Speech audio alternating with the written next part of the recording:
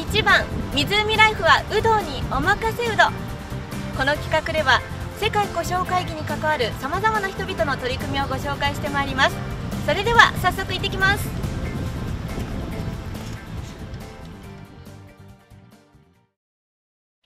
こちらで活動している方がいらっしゃるということなんですがあ、いらっしゃいました。こんにちは。こんにちは。はい、こんにちは。お話聞かせてください。よろしくお願いします。はい、こちらよろしくお願いします。ではお話を伺ってまいります。はい、お名前を教えてください。はい、私は鉾田市東馬の中根康夫と申します。あ同じく富田亮と申します。はい、えー、お二人作業中のところね、はい、お手を止めてお話を伺うということなんですが、お二人こちらが地元なんでしょうか？はい、生まれも育ちも地元で育ちました。はい、私も今後で生まれ育って約70年ぐらい生きてますよ。じゃあもう本当に思い出の場所ということですね。はい。うん。えどんな思い出ありますか？まあなんつってもやっぱりこの川でね遊んで、えー、育ったということが一番思い入りですねどんなことして遊びました？はい昔はあのここで言っちゃいけないんだかもしれないんですけど、はい、海水パンツがなくてここでフルチンで泳いだり、はい、その泳ぎも犬かぎで泳ぎましたですよ学校の帰りは巴川の堤防で芝ヤギなんかもやったりして悪いこともしましたですねはい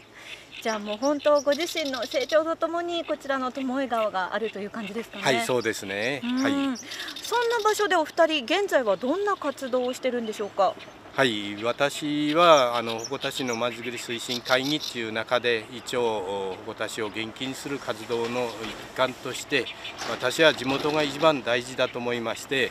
えー、地元の3世代交流なんかを目的に今活動しております。はい。はい、あの先ほど何か作業をされてましたよね？はい。えー、先ほどあの水仙をの草刈りを花が終わったんで草刈りをしていました。は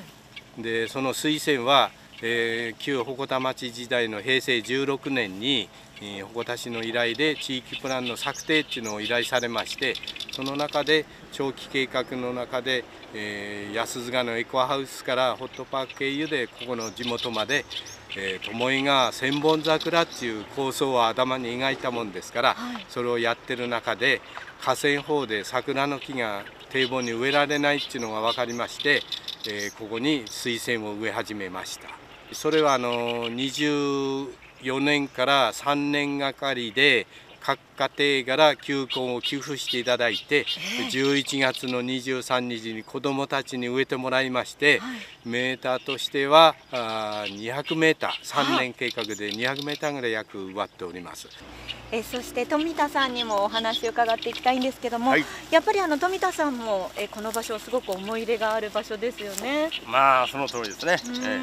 現在はどんな活動を行ってるんでしょうか？今はねとにかく毎日が日曜日なもんですから、えー、あのー、気が向いた時には農家の手伝いをね主に、えー、やって過ごしています。はい、地元を愛してもらうように、はい、あのーなってもらいたいなというふうに願願いながら毎日を過ごして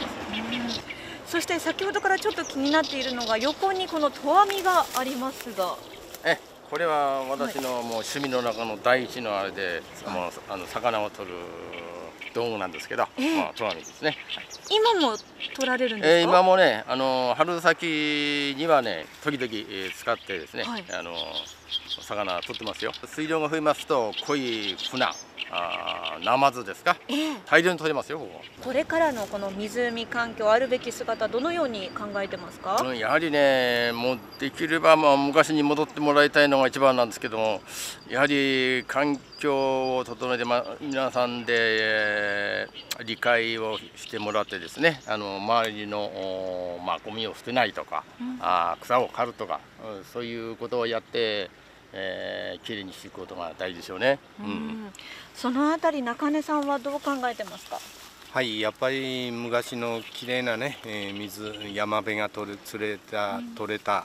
あとつくしでうなぎが釣れたような環境にい。くらかで近く戻れればいいなと思ってます。それにはやっぱし皆さんが意識を持って、えーこういろいろ水をきれいにする作業をしてほしいなと思ってますよ。やっぱりお二人にとってもここが一番ですかね。はいそうですね。はい。あもちろんですね。え中根さん富田さんお話ありがとうございました、はいどうも失礼しました、